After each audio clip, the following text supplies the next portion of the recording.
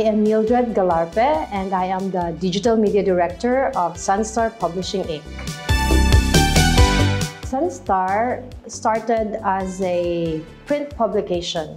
Through the years, Sunstar is really known for its discipline for accuracy and fight for truthfulness, especially at this time when you know there really is a need to push truth out with misinformation and disinformation. Sunstar was the first media company who you know, shifted from typewriters to computers. Then we upgrade, we continue to push our digital transformation. 60 or 70% of our readers are abroad.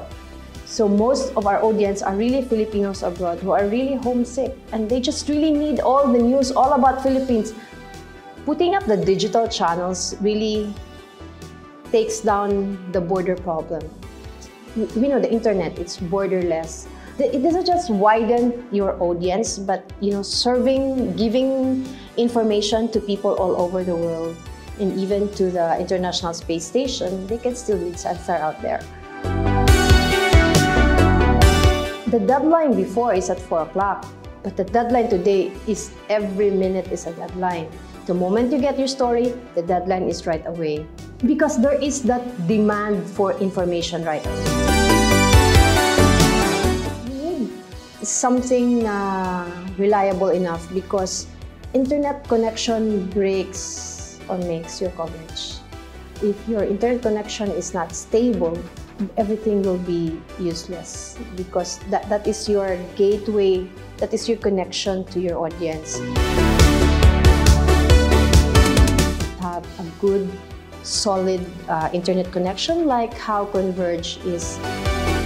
It was Converge actually who powered our election coverage. So that's one of the reasons why it was seamless. We had a very stable internet on that day. It's like we are a TV network doing it. And we're doing it real time at a very minimal cost. By our experience in our live streaming, we really find a very stable internet connection, a big requirement, a critical requirement in our work. And Converge delivered that for us.